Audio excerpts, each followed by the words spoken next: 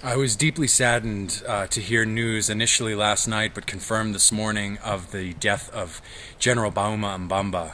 Uh, General Bahuma was in charge of the 8th Military Region of Eastern Congo, which is the North Kivu province, which is one of the most embattled regions of Eastern Congo. General Bahuma was really an extraordinary man. I had the privilege to work in his presence on many occasions during the war with M23.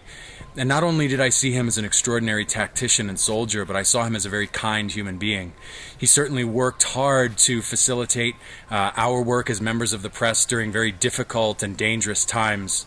Um, and I found him to be an, a very endearing person uh, at, a, at an individual level he felt in some ways almost like a father or a grandfather figure more than you know a, a tough soldier from from eastern Congo with an extraordinarily difficult job. His death comes on the heels of Colonel Mamadou Ndala, who died in, in January.